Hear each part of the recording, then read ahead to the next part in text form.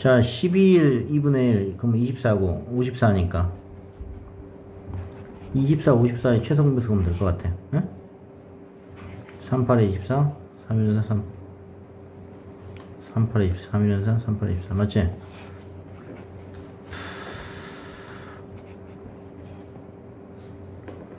삼십육 곱하기 6은 216이지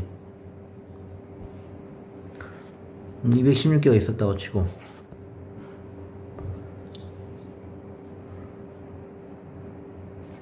그럼 2분의 1이니까 108개를 10일 만에 했으니까 준형은 9개씩 하지 하루에.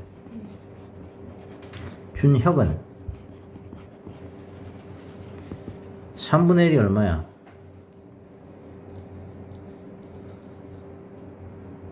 72개지. 그거를 18일 만에 했으니까 몇 개씩 4개씩 만드는 거 아니야?